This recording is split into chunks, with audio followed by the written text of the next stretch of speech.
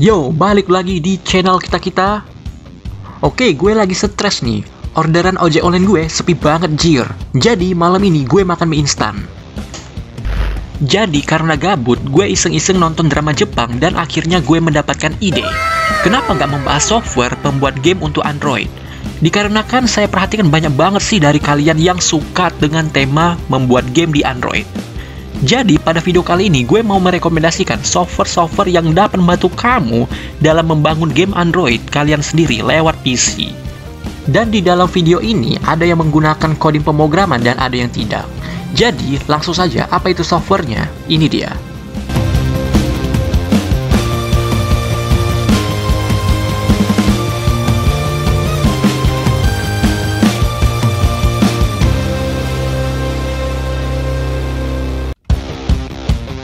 Construct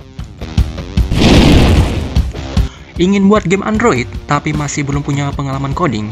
Jangan khawatir, kamu bisa gunakan software Construct ini, dikarenakan Construct akan memberikan kamu kemudahan dalam membangun game kreasimu sendiri dengan gayamu sendiri.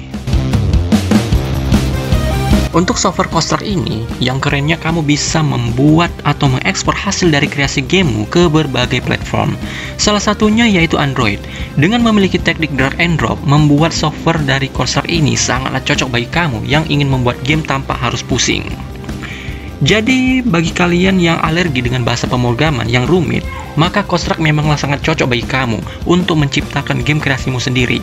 Dan untuk spesifikasi, kamu bisa cek gambar berikut ini.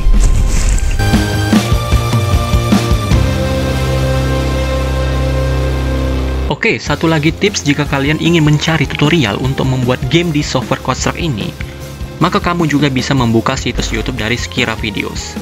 Di sana banyak banget cara-cara adalah membahas membuat game di Construct ini.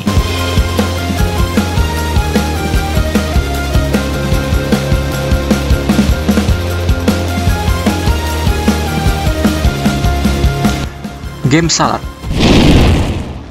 Game Salad merupakan software yang benar-benar bagus bagi kamu yang ingin membuat game Android dengan cara yang cepat dan simpel. Dikarenakan di software Game Salad ini, kamu akan diberikan banyak fitur yang baik dalam menciptakan gamemu sendiri dengan mudah. Untuk Game Salad ini dibekali bahasa pemrograman HTML5. Dan yang kerennya, dalam membuat game di dalam software Game Salad ini, kamu hanya cukup melakukan drag and drop saja, jadi, dengan adanya fitur tersebut, kamu tidak akan pusing dengan bahasa pemrograman dalam menciptakan game dengan gayamu sendiri. Untuk sistem rekrutmen, untuk software ini kamu bisa cek gambar yang berikut ini.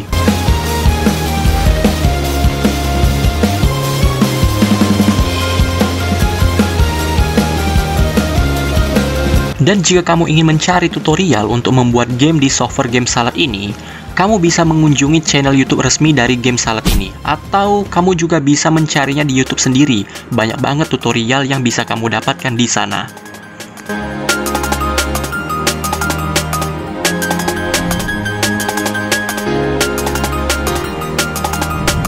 Game Maker Studio Untuk kalian sang calon developer yang ingin membuat game kalian sendiri dengan hasil dari desain kalian, maka kalian cocok menggunakan software dari Game Maker Studio ini. Dikarenakan pada software yang satu ini, kamu akan diberikan pengalaman yang menarik dalam membuat gamemu sendiri. Oke, untuk membuat game di dalam software Game Maker Studio ini, kamu diperuntukkan harus bisa mempunyai daya imajinasi yang bagus. Kenapa? Dikarenakan dalam mendesain game dari software Game Maker Studio ini, kamu diperuntukkan harus bisa mendesain dengan pixel-pixel yang harus kamu satukan satu sama lain, hingga membentuk sebuah objek. Dan Game Maker Studio ini memungkinkan kamu untuk membuat game dan mengembangkannya dengan lebih mudah tanpa harus belajar bahasa pemrograman yang rumit. Di mana pada Game Maker Studio ini menggunakan interface drag and drop sehingga mempermudah kamu dalam mendesain game yang kamu suka. Untuk spesifikasi software dari Game Maker Studio ini, kamu bisa cek gambar yang berikut ini.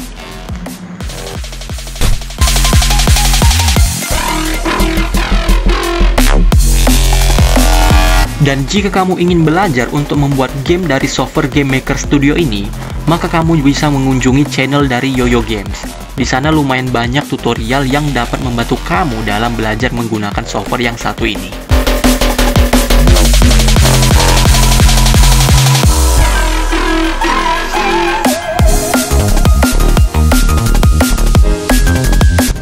App Game Kit Studio App Game Kit Studio ini adalah sebuah software yang dapat membantu kamu dalam menciptakan gamemu sendiri. Di mana App Game Kit Studio ini dilengkapi dengan menu-menu yang lengkap yang dapat membantu kamu dalam membuat gamemu sendiri dengan mudah. Untuk app Game Kit Studio ini terbagi dua jenis, yaitu ada yang versi PC dan juga Android. Akan tetapi untuk Android masih belum terlalu sempurna, masih dalam bentuk pengembangan. Dan untuk software app Game Kit ini memiliki fitur yang cukup lengkap dalam membantu kamu untuk menciptakan gamemu sendiri secara bebas. Akan tetapi, di dalam app Game Kit Studio ini, agar kamu bisa membuat gamemu, kamu diperuntukkan harus bisa berbahasa pemrograman. Tapi jangan khawatir, jika kamu ingin tahu tutorial dari App Game Kit Studio ini, maka kamu bisa mengunjungi channel YouTube App Game Kit Studio ini. Di sini banyak banget tutorial membuat game yang bisa kamu pelajari untuk software yang satu ini.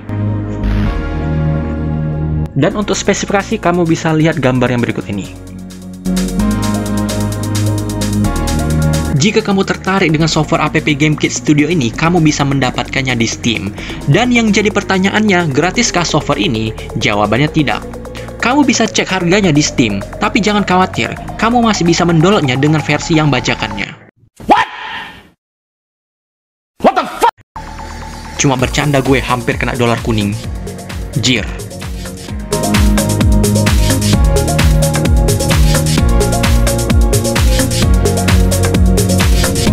Buildbox bagi kamu yang ingin menjadi developer game tapi masih belum punya basic dalam bahasa pemrograman, maka kamu juga bisa menggunakan software pembuat game yang satu ini, yaitu Buildbox. Di mana pada software Buildbox ini lebih berfokus pada pembuatan game tanpa pemrograman, pengkodean, ataupun script. di mana Buildbox ini akan memberikan kamu pengalaman yang bagus dalam membuat game kreasimu sendiri dengan mudah dan kamu cukup bermodalkan drag and drop saja dalam membuat game di software Buildbox ini. Sehingga dengan adanya fitur ini, kamu tidak perlu lagi pusing-pusing mikiri bahasa pemrograman dalam membuat sebuah game.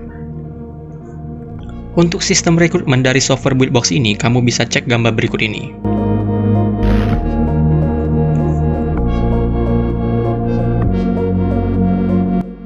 Satu lagi tambahan, jika kalian ingin mencari tahu tutorial dalam membuat game di Buildbox ini, maka kamu bisa mengunjungi channel YouTube dari Buildbox. Banyak banget tutorial yang kalian dapatkan di channel tersebut.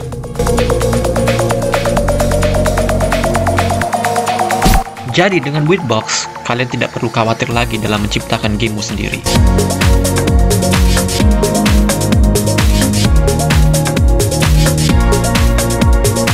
Oke, jadi itulah software pembuat game untuk Android versi channel kita-kita. Semoga dengan software tersebut dapat membantu kamu dalam menciptakan gamemu sendiri dengan mudah. Oke, jika ada penjelasan saya yang kurang dan butuh ditambahkan di dalam video ini, mohon diisi di kolom komentar. Dan jangan lupa di subscribe channel ini dan hidupkan loncengnya agar kamu bisa mendapatkan informasi terbaru tentang aplikasi. Saya admin dari channel kita-kita, sampai jumpa di next video.